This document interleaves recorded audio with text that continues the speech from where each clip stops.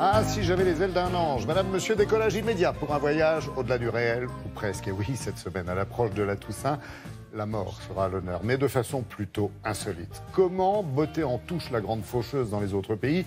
Quels sont les remèdes de nos voisins pour prolonger l'espérance de vie? Potions magiques, régime alimentaire, expérience scientifique Ah, vous verrez que certaines pratiques sont très éloignées de celles que l'on connaît ici, en France. Alors, pour nous éclairer ce matin, voici nos interlocuteurs du jour. Dominique Derda, qui nous attend à Moscou, Franck Genozo, notre correspondant en Israël, Sandrine Mercier, euh, qui nous donne rendez-vous euh, en Espagne, et enfin Nicolas Bertrand, qui nous emmènera, lui, en Indonésie. Et en raison du décalage horaire avec euh, certains de nos journalistes, toute la séquence qui suit a été, vous vous en doutez, enregistrée. Pour la première escale, direction la Russie, où certaines personnes ont recours à la cryogénisation, un procédé qui consiste à congeler son corps en attendant une éventuelle résurrection, on va dire. Dominique, bonjour. Euh, on se croirait dans le film Hibernatus, du coup, c'est c'est quasiment de la science-fiction, non? C'est de la science-fiction euh, sans doute, Laurent, pour beaucoup d'entre nous, mais pas pour les clients de cette entreprise qui n'est vraiment pas une entreprise comme les autres, pas pour euh, leurs patients, comme ils les appellent, et leurs familles qui espèrent vraiment qu'un jour ils vont revenir à la vie. Alors les gens qui ont été cryogénisés ici en Russie sont des Russes pour la plupart, mais il y a aussi de plus en plus d'étrangers, et parmi eux un Français, un seul. Il est arrivé ici l'été dernier, c'est son fils qui a envoyé son corps en Russie juste après sa mort, et son fils eh bien, nous l'avons rencontré, il s'appelle Max, il habite à Barcelone et il a accepté de nous parler et de nous dire pourquoi il avait fait congeler le corps de son père. C'est un reportage pour le moins inhabituel réalisé avec Patrice Acheret et Tania Tarasenkova. Il nous a donné rendez-vous sur la promenade au bord de la mer à Barcelone. Max a 27 ans, il est né d'un père français et d'une mère espagnole. Un père qu'il adorait et qui est mort l'été dernier d'un cancer à 73 ans. Pour beaucoup d'entre nous, la mort est un adieu. Pour lui, celle de son père, il en est persuadé, ne fut qu'un au revoir. Je suis 100% sûr qu'à un moment donné, on va se rencontrer et c'est ce que je fais, j'attends. Parce que ce qui est bien, c'est que ça ne dépend pas que de moi, c'est toute l'humanité qui euh, elle a un intérêt sur ça. Et euh, c'est juste que c'est un peu tôt et la plupart des gens, sûrement, ils ne savent pas que ça existe, ça. Mais euh, je suis convaincu qu'à un moment donné, euh, mon père et moi, on va se rencontrer, j'ai aucun doute. Ces images, c'est le frère de Max qui les a filmées quelques jours avant le décès de leur père. Tu vas pas mourir parce que si tu meurs, on va te revivre. Je sais pas quand, mais on va pas, on va pas te laisser mourir et te brûler. On va te préserver. Vais te Le cryo préservé, c'est congeler son corps après sa mort. Un an ou mille ans, c'est exactement pareil. Tu voyages dans le temps. C'est pour ça que pour toi, peut-être dans six mois, tu, se- tu seras en 2000, euh, de- de- 2045. Il y a deux pays au monde où l'on pratique la cryogénisation, les États-Unis et la Russie. À 80 km au nord de Moscou, c'est ici que Max a envoyé le corps de son père. Igor Arturov est l'un des fondateurs de la société cryo-russe. Voici nos deux grandes enceintes réfrigérées. C'est dans celles-ci que se trouvent ceux qu'on appelle nos cryopatients. Celle-là, là-bas, elle est toute neuve. Et pour l'instant, elle est encore vide. Au plafond, les drapeaux des pays d'où sont originaires les clients de l'entreprise, 54 en tout, des corps entiers, et d'autres dont on n'a conservé que la tête ou le cerveau en attendant que la science un jour peut-être découvre comment les rendre à la vie ou les cloner. On a de très sérieux espoirs, de bonnes raisons de croire que oui, ça va se réaliser. Tout simplement parce que personne aujourd'hui n'est capable de démontrer que ce n'est pas possible. Deux fois par mois, un camion vient livrer de l'azote liquide. C'est lui qui permet de maintenir les corps à une température de moins 196 degrés. Par contrat, Cryorus s'engage à les conserver aussi longtemps qu'il le faudra, des siècles si nécessaire. Les tarifs vont de 15 000 euros pour un cerveau ou une tête à 30 000 pour un corps entier. À cela, Max a dû ajouter les frais de transport et les formalités, 20 000 euros de plus. Le prix à payer selon lui pour réécrire l'histoire. C'est comme la fin d'un film, si ça ne nous plaît pas et on peut la changer, pourquoi pas? Je vois pas, ça me paraît, moi ça me paraît, la, question me paraît euh, tout à fait à l'envers. Euh, je vois pas pourquoi on se séparerait si c'est pas obligatoire. Sur les réseaux sociaux, Max raconte son expérience et donne des conseils à ceux qui voudraient suivre son exemple. Faire cryogéniser un proche ou se faire congeler soi-même. Parce que la vie est trop belle, dit-il, pour qu'elle s'arrête à tout jamais. Bon, alors Dominique, euh, parlons clair. On peut comprendre les motivations du jeune homme qu'on vient de voir et d'entendre, mais euh, du côté de ceux qui proposent la cryogénisation, qu'est-ce qu'on doit en penser? Sont des escrocs? Sont des scientifiques? Écoutez, Laurent, l'un n'empêche pas l'autre, mais c'est sûr que financièrement, c'est une bonne affaire. Vous imaginez, chaque patient rapporte à cette société russe entre 15 et 30 000 euros, multipliés par la cinquantaine de patients qui sont déjà dans ces containers, plus tous ceux qui se sont inscrits d'avance, qui sont sur liste d'attente. Ça commence à faire beaucoup d'argent, mais, mais quand on pose la question à Max, comme nous l'avons fait, il vous répond que l'important pour lui, ce qui compte, c'est surtout la vitesse à laquelle la science progresse et va permettre, comme il l'espère, le retour de son père à la vie. C'est ça qui compte, parce que lui, comme tous, ces autres, tous les autres clients de cette société, ils sont persuadés non seulement que c'est possible, mais que c'est pour bientôt, et ça, pour eux, ça vaut tout l'or du monde.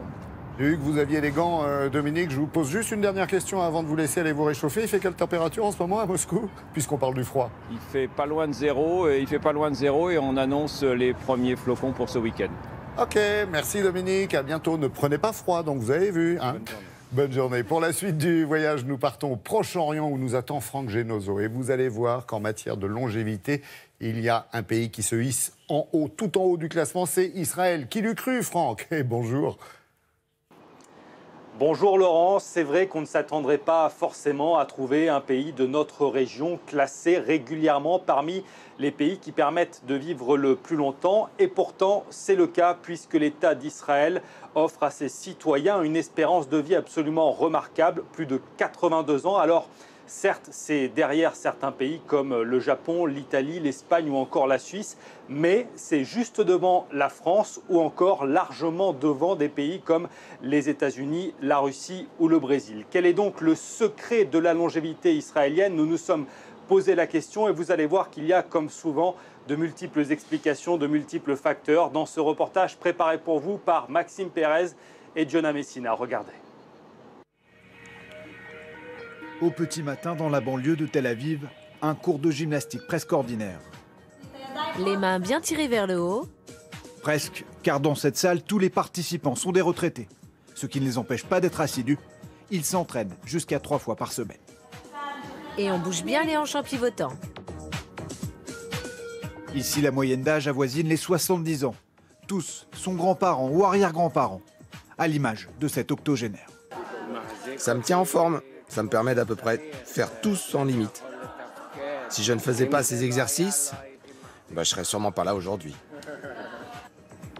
Le sport, c'est la santé. Et pour ces personnes âgées, un moyen efficace de ralentir l'ostéoporose, autrement dit l'affaiblissement des os. C'est important de faire ces exercices pour renforcer tous les muscles autour du bassin et renforcer aussi le système osseux. Et ça nous rallonge la vie? Bien sûr, ça rallonge la vie. Ces clubs réservés au troisième âge sont de véritables institutions en Israël. Le pays en compte dans chaque ville, voire dans chaque quartier. Et ils ne sont pas prêts de disparaître. Dans 20 ans, un Israélien sur trois aura plus de 65 ans. D'après l'OCDE, l'espérance de vie en Israël avoisine 82 ans, l'une des plus élevées au monde. On revient vous voir l'année prochaine, d'accord? Tout un symbole, c'est à Haïfa cet été que s'éteignit à 113 ans, l'ex-doyen de l'humanité. Israël Cristal avait été témoin des deux guerres mondiales et rescapé des camps de la mort nazie. Comment donc expliquer cette étonnante longévité? Certaines études mettent en avant un système de santé performant ou encore le climat méditerranéen et la qualité de vie qui en découle. Mais il y a peut-être une raison plus insolite, le service militaire. En Israël, il est obligatoire pour filles et garçons, d'une durée de 2 à 3 ans. Selon une étude récente, il rallongerait la vie d'au moins 3 ans et demi, en réduisant notamment les risques de maladies cardiovasculaires. Ailleurs dans le monde, les activités sportives ont tendance à s'arrêter à 18 ans, après le lycée. En Israël, elles se poursuivent bien au-delà. Des chercheurs israéliens tentent même de repousser les limites de la vie. Ils s'y attellent dans cette université, située près de Tel Aviv. Voici mon laboratoire. Il se concentre sur les facteurs de vieillissement. Le professeur Chaim Cohen est bien décidé à trouver la fontaine de jouvence. Ses travaux mondialement réputés montrent qu'en modifiant certains gènes liés au vieillissement du corps humain, l'apparition de maladies graves est retardée. Nous avons identifié une cellule qui, lorsqu'on stimule son activité, permet d'augmenter de 30% la vie d'une souris. Le cancer, le diabète pourraient donc être bientôt traités de manière préventive. Chez les souris, dont l'ADN est proche de celle de l'homme, les premiers essais ont été conclus. Si un homme vit 90 ans, cela signifie qu'il vivra jusqu'à l'âge de 120 ans. Et s'il vit plus longtemps, il pourra même atteindre l'âge de 140 ans. Vivre plus longtemps et en meilleure santé. Les premiers traitements pourraient devenir réalité d'ici une dizaine d'années. Oui, bah, s'il continue, il n'y a pas de raison que ça s'arrête. Israël pourrait bien, euh, cher Franck, euh, prendre carrément la tête du classement avec des procédés toujours plus pointus.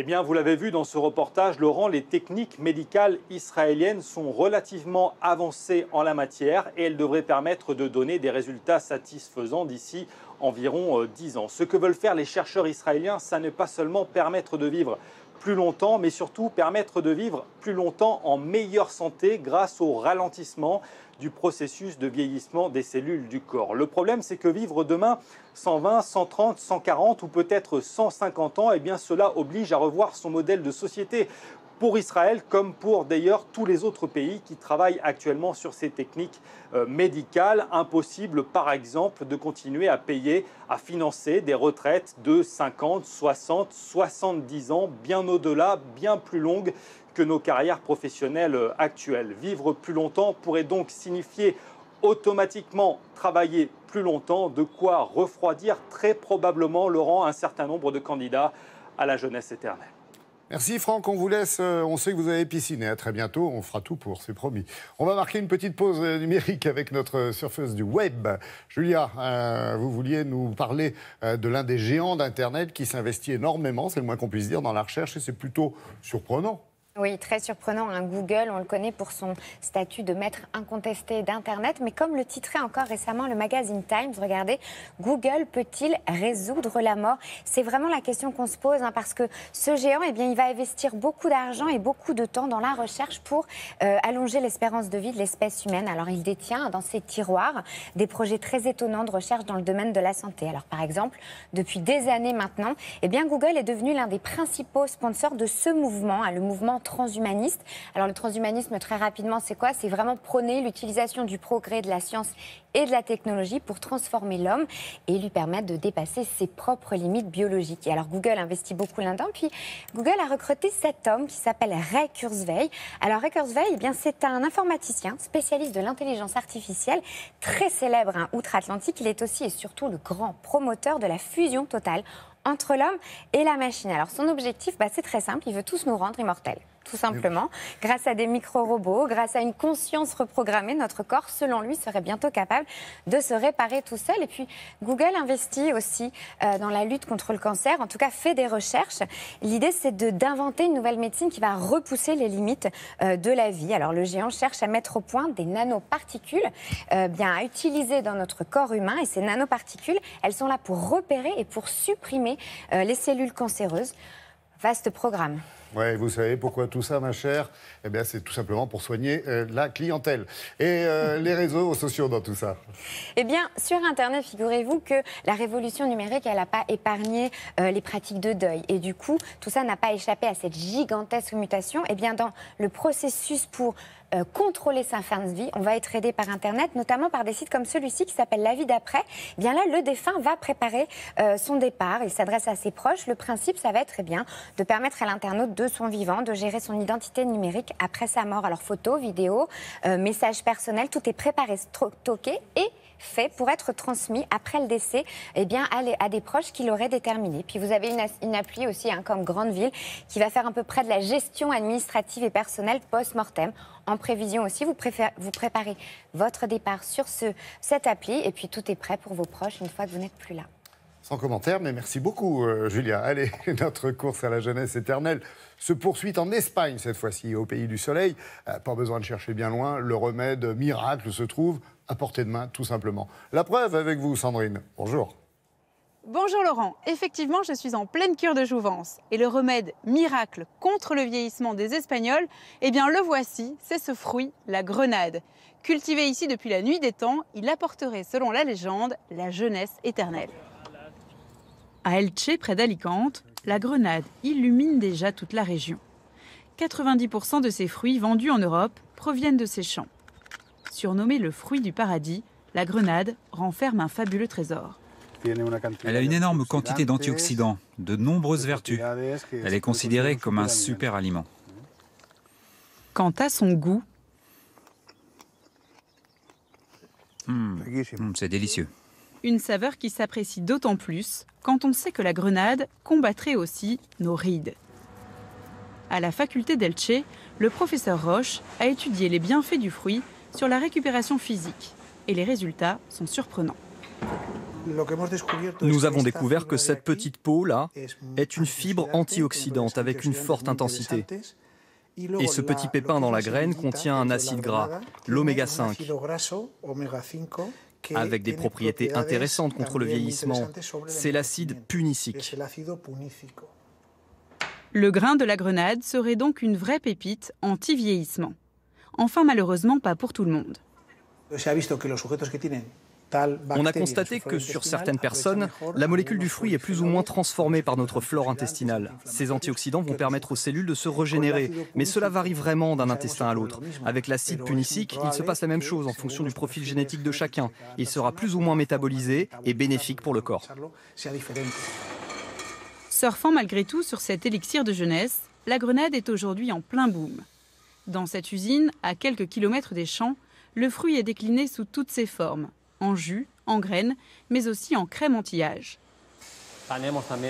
Là, c'est une huile d'oméga 5 pour le contour des yeux, très efficace contre les rides. Et c'est anti-inflammatoire. Cet oméga peut rallonger de 20% les télomères sur nos chromosomes. Les télomères sont l'élixir de la jeunesse éternelle. Ce chef cuisinier, originaire d'Elche, est tombé dans les grenades quand il était petit. Depuis, Sucré ou salé, il les concocte à toutes les sauces. Comme avec cette entrée, huîtres et grenades. C'est très bon et c'est aussi bon pour la santé. Quand on est enfant ici, c'est un produit qui fait partie de notre quotidien. On la donne en champ, sur nos tables, l'hiver. Nos grands-parents nous la donnent à manger pour le goûter. Aujourd'hui, sa recette phare qui allie santé et goût est ce tartare de thon à la grenade. C'est une des recettes préférées des clients et ça me rend très fier de pouvoir combiner la grenade avec toutes ses saveurs tout en conservant son croquant et arriver à cette explosion en bouche. Dans les vergers espagnols, la grenade a encore de longs jours devant elle. Des études scientifiques tentent de démontrer son action pour lutter contre certains cancers dans la nature, les petites bêtes ont déjà compris qu'il fallait vite s'emparer du fruit miraculeux. C'est noté. Merci Sandrine, à bientôt. Allez, retour chez nous à présent avec euh, Christelle Balestrero. On va passer en revue les méthodes anti-vieillissement les plus répandues. Et pour commencer, euh, sur une note, on va dire euh, positive, on va parler de l'espérance de vie qui a l'air de plutôt bien se porter, comme on dit. Continue d'augmenter euh, en France. D'ici 2030, hein, les femmes devraient vivre au-delà de 90 ans. Donc c'est la France, mais aussi le Japon, la Corée du Sud. Et l'évolution pour les hommes, c'est la même chose. En revanche, l'écart entre les sexes commence à diminuer petit à petit. Et sur quoi euh, on peut miser, j'allais dire en priorité, pour vieillir en bonne santé? Alors, L'un des paramètres majeurs, c'est l'alimentation, Laurent, c'est clair. Tout ce que vous mettez dans votre assiette a un lien direct avec les années à vivre. On l'a vu avec la grenade, là. Hein. On l'a vu avec la grenade. Et on le voit surtout avec euh, le régime crétois, le régime crétois du nom de cette île, où on compte un nombre tout à fait exceptionnel de centenaires. Alors, au menu, des fruits, des légumes, des noix, du poisson, très peu de viande et une dose exceptionnelle d'huile d'olive. L'huile d'olive à tous les repas. Et puis pour le régime Okinawa, alors cette fois-ci c'est une île euh, japonaise, cette fois-ci on met des légumes, des céréales complètes, du soja, du poisson. Et là-bas on apprend à manger moins. On divise les parts et on sort de table en ayant toujours faim. On n'attend pas la satiété pour s'arrêter de manger. C'est la règle au Japon. Et ici, je fais quoi, moi? Alors, un peu plus de végétaux, un peu moins de viande, moins de produits euh, transformés industriels et surtout manger un petit peu moins à chaque repas. Oui, et puis pendant que vous y êtes, vous allez nous demander de faire du sport aussi. Non, pas forcément du sport. Ce qu'on va vous dire, c'est de pas vous mettre à faire du marathon, mais en tout, en tout cas d'être moins sédentaire. Parce que le vrai serial killer de notre époque, celui qui tue, celui qui ampute les années de vie, eh bien, c'est la sédentarité. Pour convaincre les plus sceptiques, quelques chiffres. Le, la sédentarité tue aujourd'hui plus que le tabac. 5 millions de morts chaque année dans le monde. Une activité physique régulière permet en moyenne de vivre 7 années de plus comparativement à une vie sédentaire. Et puis, il ne faut pas s'épuiser. On ne vous demande pas de faire du sport tous les jours avec une intensité incroyable. On vous demande de marcher rapidement. Ça, c'est important. Il faut un peu transpirer quand même. Rapidement, 30 minutes par jour. Ah, est-ce que c'est compatible avec ce, véritable phénomène de mode euh, Je pense à la méditation, au yoga? Mais ce n'est pas un phénomène de mode, la méditation ni le mhm. yoga, parce que ça existe depuis la nuit des temps. Hein. Ça, vraiment, d'ailleurs, ça fait partie de la médecine chinoise traditionnelle, dans nos pays, absolument. Et en particulier en France. Et, d'ailleurs, ces disciplines, aujourd'hui, elles poussent les portes de l'hôpital dans certains services de cancérologie, par exemple, en France. Eh bien, on propose maintenant d'intégrer des séances de méditation dans les soins. Alors comment on peut expliquer le lien entre vieillissement et méditation? Eh bien c'est très, très simple. Lorsque vous méditez, vous protégez les télomères. Les télomères, c'est les petites extrémités de vos chromosomes. Ces petits capuchons qui sont très fragiles, qui raccourcissent avec le temps. Et plus ils raccourcissent, plus vous augmentez le vieillissement cellulaire. Lorsque vous méditez, vous protégez ces petits capuchons à méditer, justement. Merci beaucoup, euh, Christelle. À bientôt, j'espère. À bientôt. Ok, allez, pour la fin du périple, direction euh, le fin fond de l'Indonésie, à la rencontre d'une tribu très à cheval, on peut le dire, sur les coutumes euh, funéraires. Et il y en a une en particulier qui consiste à conserver le corps du défunt au beau milieu de sa maison. Bonjour, Nicolas. Cette tradition peut paraître quand même plutôt étonnante, voire même déstabilisante pour nous. Est-ce que c'est une façon pour eux de repousser la mort, vraiment? Bonjour Laurent, eh bien oui exactement, quand un être proche décède, c'est la plupart du temps un moment très difficile à accepter, à dépasser aussi parfois. Eh bien dans ces tribus d'Indonésie, les Torajas, ils ont décidé de ne pas se séparer tout de suite du corps afin de permettre de prendre le temps d'accepter euh, ce déchirement. Et donc, dans les faits, euh, le corps de la personne décédée est conservé à l'endroit exact où cette personne avait l'habitude de vivre, et donc dans le, dans le salon de la maison par exemple, ou dans la chambre à coucher, exactement à l'endroit où elle vivait, et toujours au milieu euh, des vivants. Mais ce n'est pas tout, euh, les Torajas vont faire comme si de rien n'était, c'est-à-dire qu'ils vont continuer à parler à cette personne, à lui apporter de la nourriture, à l'habiller, à la laver également. Mais bien sûr, une solution à base de formol a été préalablement introduite dans le corps pour éviter le pourrissement. Alors pourquoi euh, c'est pratique Il y a deux raisons. Tout d'abord, on en a déjà parlé, c'est pour éviter le déchirement dû à la disparition d'une personne chère. Et puis ensuite, il s'agit aussi de prendre le temps d'économiser suffisamment pour organiser euh, des funérailles qui sont la plupart du temps très hautes en couleur, comme vous allez le voir dans ce reportage. Il est signé Sonia Koladitza et Héloïse Layan. Au milieu des montagnes indonésiennes.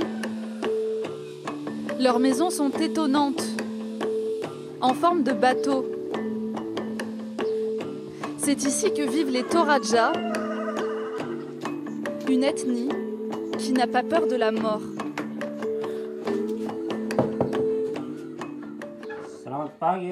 Bonjour papa, bonjour maman. Julius Lanton parle à ses parents. Ils sont pourtant dans des cercueils décédé il y a deux mois et cinq ans. Maman, papa, je vais vous laver. Pour moi, ils ne sont pas vraiment morts. Je considère plutôt qu'ils sont malades. C'est pour ça que je continue de leur parler. Alors, comme avec des malades, Julius Lantong et son frère prennent soin d'eux, ajustent leurs vêtements.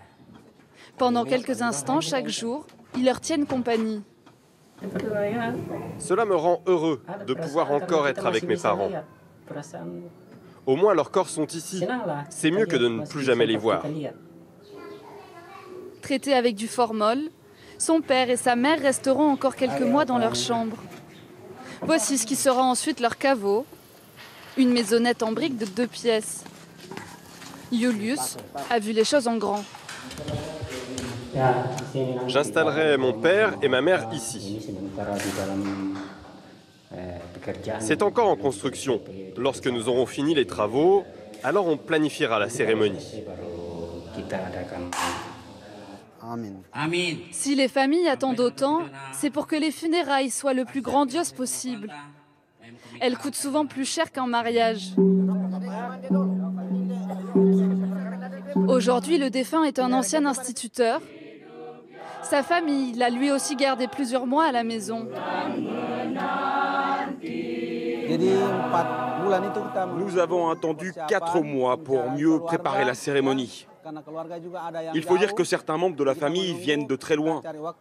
Alors nous avons attendu le bon moment pour pouvoir tous nous réunir. La famille chante, danse pour le mort. Les vivants demandent la protection du défunt, bientôt élevé au rang de divinité.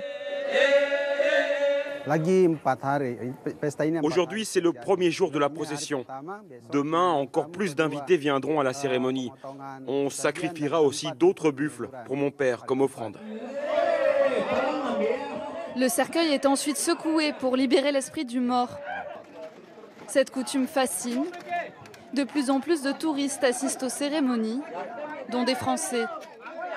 Il y a quand même une relation avec euh, la mort particulière qui est que la cérémonie est dire sur plusieurs jours, qu'il y a des, quand même des sacrifices qui font que ça on n'est pas du tout habitué en Europe, on est carrément dans un autre monde. Le plus possible, les Toraja repoussent la mort. Cet au revoir n'est d'ailleurs pas le dernier. Dans quelques années, le corps sera à nouveau exhumé pour être nettoyé pour un nouvel hommage. Bon, Nicolas, entre nous, il y a quand même un aspect religieux dans ces traditions, non? Oui, eh bien alors c'est assez particulier. Hein. Peut-être avez-vous aperçu un crucifix dans le reportage? Eh bien, vous n'avez pas rêvé, car euh, les Torajas, pour la moitié, sont chrétiens. Ce sont euh, les colons hollandais qui ont apporté, qui ont répandu le christianisme en Indonésie.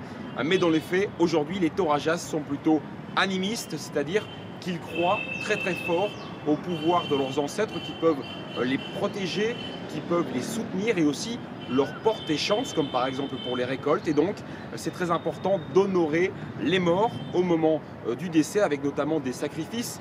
Les familles riches d'Orajas vont sacrifier entre 10 et 20 buffles d'eau. Ce sont des animaux sacrés qui coûtent extrêmement cher, jusqu'à 600 euros. Et donc, encore une fois, il faut prendre le temps d'économiser pour préparer les funérailles afin d'organiser une cérémonie grandiose. Euh, mais au final, et c'est le cas de le dire, les morts sont enterrés et ils finissent par reposer en paix quand même. Eh bien, cela dépend. Encore une fois, ici, les traditions sont plutôt euh, étonnantes et quand on se balade dans la région où vivent les Torajas, des indices, des signes liés à la mort sont quelque peu omniprésents. Il y a tout d'abord, euh, très simplement, des sculptures des personnes décédées qui sont affichées la plupart du temps euh, sur des falaises, par exemple, et puis aussi dans certains endroits, des ossements ou des crânes humains qui jonchent le sol. Et puis, plus étonnant, il faut savoir qu'avant, quand une femme Torajas faisait une fausse couche, elle creusait un trou dans un arbre pour y déposer le fœtus. Elle avait ainsi l'impression de redonner la vie à son enfant. Et puis on en a aussi déjà un peu parlé dans le reportage, tous les 4 ans, il y a cette fameuse cérémonie où l'on exhume les corps de nos ancêtres. On, on, les sort du cercueil, on les lave, on leur donne de nouveaux vêtements. Parfois aussi, on les met debout, on peut leur faire fumer une cigarette ou prendre un, petit selfie. Et oui, tout cela est, très joyeux et ce n'est absolument pas une blague. C'est pour cette raison aussi que partout en Indonésie, on appelle euh, cette région des Torajas la région des morts vivants. Merci beaucoup Nicolas, prenez soin de vous et à très bientôt. Voilà, notre tour du monde touche à sa fin. Merci à nos quatre correspondants de nous avoir fait découvrir ces remèdes surprenants. Télématin, c'est fini pour aujourd'hui. Mais, mais Thierry Beccaro vous donne rendez-vous euh, dès lundi à 6h30. Et oui, on reste ouvert, même pendant les vacances. C'est pas beau ça?